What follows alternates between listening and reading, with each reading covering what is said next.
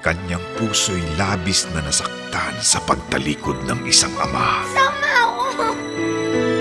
Responsibilidad na pupuna ng iba. Nagpapaligaw ka na, ma? Ay, ano mangyari? Hindi, hindi ko tatanggapin yung toning yan. Isang taong handang muling buuin ang kanyang pamilya. Arce, anak. Huwag niyo akong tatawagin niya dahil hindi niyo ako anak. Hindi ka ba napapagod? Magpakabait? Magpasensya? Alam mo, sabihin mo lang ha, pwede ka kasing mapagod. Kahit ilang beses mo ko itulak, hindi ako alis. Dahil mahal ko ang mama mo at mahal ko kayong mga anak niya.